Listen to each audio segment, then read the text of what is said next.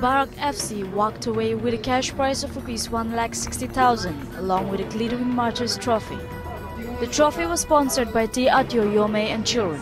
Runners-up Nagaland Police pocketed rupees 1 lakh along with trophy sponsored by James Liziatse. Kweteli Topi opened 40 account for Barak FC in the 21st minute. Kivi Jimo Sumi struck the second in the 45th minute. Nagaland Police made amends in the 74th through a strike from Ninja Golme. Third place four runners Fort Anepi Tizama and fourth place winners Tangkhul Students Union Manipur were awarded with cash prizes of rupees 50,000 and rupees 30,000, sponsored by Dr. Nyakrilia Solo and Chuba Ozukum respectively.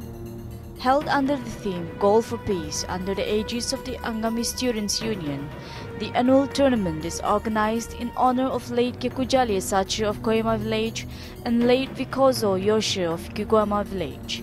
And Yoshi fell to police firing when the students' fraternity on March 20, 1986 were on a peaceful procession organized by the Naga Students Federation to register the Nagas' resentment against the state government's decision to extend the disturbed area belt from 5 kilometers to 20 kilometers along the Indo-Myanmar border and against the induction of Indian Police Service cadres into the state of Nagaland.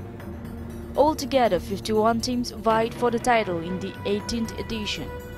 Kekrilit Yotsera of Nagaland Police was the player of the tournament and awarded with scooty sponsored by Tino Krilia Yautse. Meanwhile, losing quarter-finalist is C United FC Manipur, Tima K Kadima, Kyochi FC Manipur and Lampel FC Manipur received rupees 10,000 each, sponsored by CA Kroll Angami, El Matibo and Kohima Bar Association. With Nzanbe Mokuvong, APN Kohima.